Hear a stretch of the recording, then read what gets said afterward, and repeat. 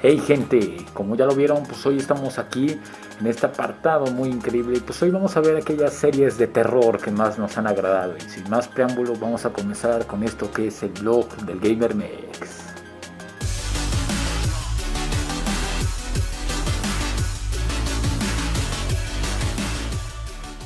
Pues qué tal, Sabanduchis Gamer, y aquí estoy yo para compartirles en este blog de series de terror yo les voy a recomendar una muy buena que se llama Cobra Kai. No, no es cierto, no es Cobra Kai, que es una de mis series favoritas de Netflix. Pero también está en la plataforma de Netflix, una serie de terror que pues ya tiene un ratito que salió.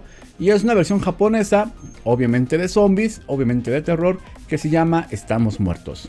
Así es, así se llama la serie Estamos Muertos. Seguramente ya la viste y si no la has visto te recomiendo verla que está en Netflix, en la plataforma de Netflix, en la cual pues son una, una comunidad japonesa en la cual pues una serie de estudiantes, un grupo de estudiantes, están eh, en un día normal de clases, pero todo denota de un virus que este, un papá se ve involucrado en su hijo, técnicamente en su hijo, en el cual le hacen mucho bullying y él crea un medicamento para que su hijo sea rebelde, una medicina para que su hijo ah, tenga un coraje como tipo Hulk y pueda enfrentar a los, a los chicos que le hacen bullying, lo están molestando, lo golpean muy feo.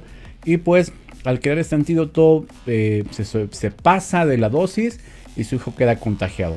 Entonces lo tiene en cuarentena, lo encierra y pues resulta, ah, creo que lo matan a su hijo, ya me acordé, lo matan a su hijo y él busca el antídoto para revivirlo. Si lo revive, ya saben, la típica lo revive, pero pues ya se convierte en zombie. Lo tiene encerrado en su cuarto, pero pues, ya saben que para los zombies no hay nada. No te voy a decir cómo se libera este joven estudiante zombie muerto y eh, atacan. No creas que son zombies que tienen inteligencia. No, no, no. Bueno, algunos sí, pero ya los verás en la serie. Entonces, pues aquí se desata este caos masivo que empieza de uno a uno el contagio por el ataque del virus, que es un virus que en algunos casos se desarrolla rápidamente y en otros casos por el, organismo de cada individuo se, se, desata más, un poquito más lento, más paulatinamente.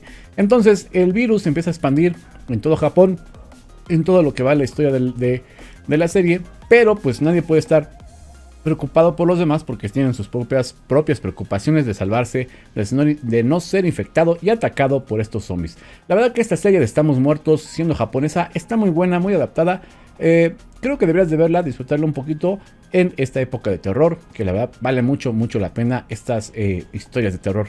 La verdad es que al final te encontrarás una gran sorpresa porque se ven mezclados también varios eh, alumnos de esta escuela, que es en particular los protagonistas, en el cual pues algunos son, ya sabes, el típico nerdo, el típico deportista, el peleonero, el vándalo, la guapa y todos estos mezclados tendrán que unir sus fuerzas y sus conocimientos para escapar de toda la horda zombie. La verdad es que sin armas, en una escuela con todos los demás estudiantes llenos de zombies y llegar a las calles para tratar de llegar con sus familias y liberarse de este, de este ataque zombie está complicado. Sería una más o menos, yo creo que sí sería muy pegado a la realidad de lo que nos pasaría si tuviéramos en esas, si estuviéramos en esas condiciones. Así que estamos muertos, una serie que yo te recomiendo de Netflix, eh, basada en zombies en esta época de terror. Yo soy Dracon, espero la disfrutes y nos vemos hasta la próxima en nuestro blog. ¿Sabes qué? Felices, felices juegos. Bye bye. ¿Y qué tal, banda? Así como lo escucharon al principio, pues vamos a recomendarles esa serie de terror y esta serie que yo les voy a comentar no es muy.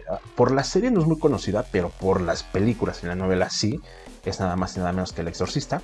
Obviamente, pues tiene que ver por completo con esta serie de películas que todo el mundo conocemos que lleva el mismo nombre.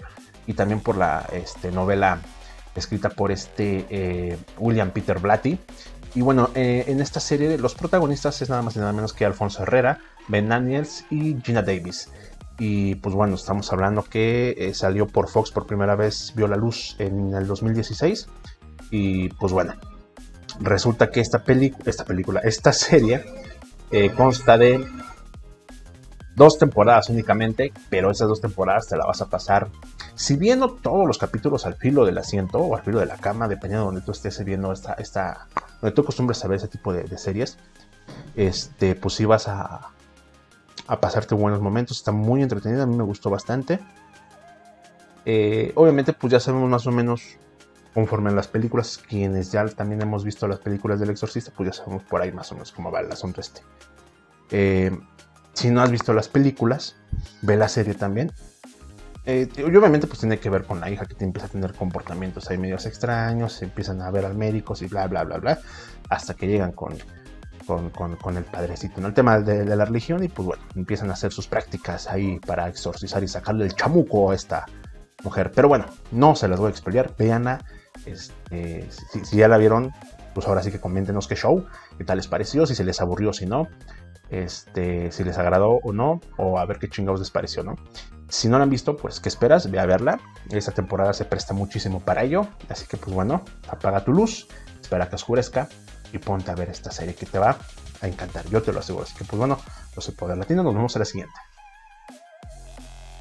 Y pues como ya lo vieron gente, pues hoy eh, toca hablar de este increíble tema y yo escogí una serie que está en Netflix que se llama Goedan.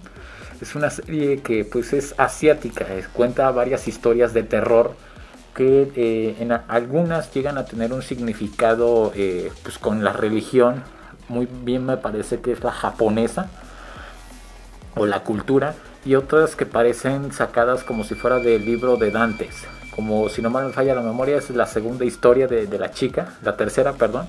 Este, esta serie está muy, muy entretenida, puesto que obviamente no nada más es un solo protagonista, sino son varios y los demonios van cambiando, los entes van, eh, pues por qué no decirlo, eh, evolucionando desde un ente que, alerta de spoiler, sale en un elevador. esa primera historia la verdad me, encantó, me fascinó puesto que cómo juega con este punto de, las dimensiones y, por qué no decirlo, eh, del...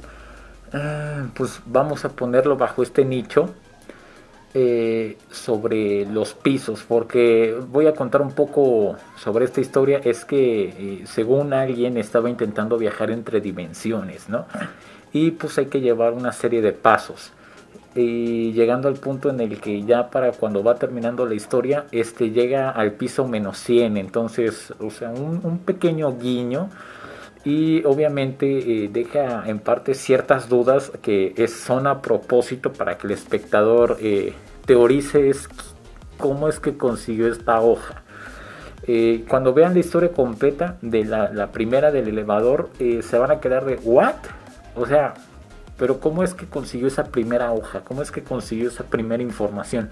Entonces, es, está muy entretenido. La segunda, pues es, es entretenida, pero eh, tú dices, bueno, se puede hacer en vivo y en directo. Obviamente no de, esa manera tan explícita. La tercera historia, este, me recordó el, final al infierno de Dantes. Uno de los pisos en el cual creo que dice, aquellos que lleguen a este apartado del piso quedarán con los pies eh, apuntando hacia el cielo o hacia arriba. Eh, algo parecido que le pasa a la chica entonces son historias de las cuales si tú obviamente eres fanático tanto de, la cultura asiática como eh, has leído ciertos eh, libros como el Dante's Infierno o Dante's Inferno, eh, te, va, te va a agradar, la verdad. Está muy padre esta serie, se la recomiendo, está en Netflix y pues esta es mi recomendación, ¿no? Como ya es una maña mía, una costumbre. Me voy a pasar a despedir con mi frase célebre. Se cuidan, se protegen y nos vemos hasta la próxima. Adiós. Pues bueno, esto fue todo en los vlogs de GamerMex. Recuerda suscribirte, darle like, activar la campanita de notificaciones para ver más videos como este y no nos dé lag a la hora de jugar. Recuerda vernos en Facebook, en la Taberna del Gamer, todos los lunes y los miércoles para ver Among Us. Yo me despido y nos vemos hasta la próxima. Bye bye, felices juegos. Y recuerda suscribirte, darle like y activar la campanita de notificaciones para ver más videos como este. Nos vemos hasta la próxima y felices juegos.